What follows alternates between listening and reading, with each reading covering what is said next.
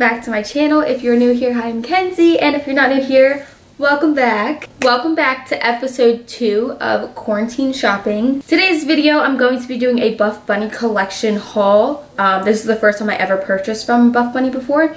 Um, and we both weigh 115 pounds. Uh, we're both five foot, so I was like, why not just try out her clothes? Because um, they fit so perfectly on Heidi. So I was like, why not try it? The only thing different between us is she has boobs and I really don't. Um, so yeah, I'm going to be showing you guys what I got and do a little try on at the end. Um, and I just want to make a disclaimer that I know my foundation does not match me. It is super tan and I haven't worn makeup in forever, but I wanted to try the Ardell um, single lash extensions with like the glue it comes with. Um, and I love them. They're nice and my eyelashes will probably be ruined after this, but without further ado, let's get on into the video. Okay, we have our pile here. Um, not big at all. Um, it was a little pricey, but it's okay. Um, it's worth it because I wear all of my workout athletic wear as regular clothes anyway, so I don't shop for normal clothes. So I was like, it's worth spending the money on these. Um, I wear them every single day, um, whether I'm working out or not. So it's like, I'm not really wasting money. I'm, I'm taking advantage of what I pay for. So I got three sports bras and three um, shorts because I never had shorts before, um, like the legging material type of shorts. And so I wanted to try them out. So I got the Allure Laser Sports Bra. Um, I got one in white and this was very um, dangerous of me to do because I don't keep anything white. This is just the front of it. It's kind of hard because the straps are weird. So it looks like a scoop neck in the front. Um, and it has like these little circles to like vent out your chest, I guess. I don't know. Um, and then it has padding.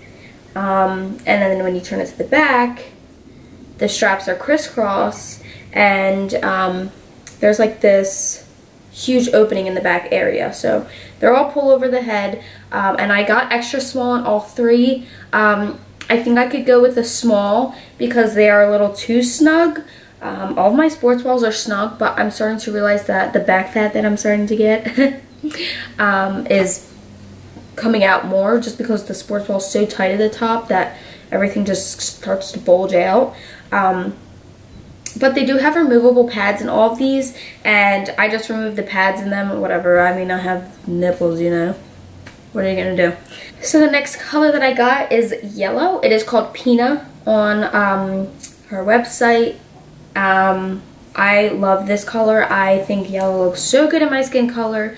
Um, I used to hate the color yellow, but like it reminds me of like happiness and just like joy and just like, oh my god, like yellow, yellow's the sun. Like just makes me feel very happy. So I just really love this color. Um, and then the last one I got is um, the Allure Razor Laser in Coral. And I also love this color as well. I have a lot of this color with like nail polish and with like um, bathing suits I've always gotten throughout the years, but I thought like I need color in my life, so I got it in a sports bra.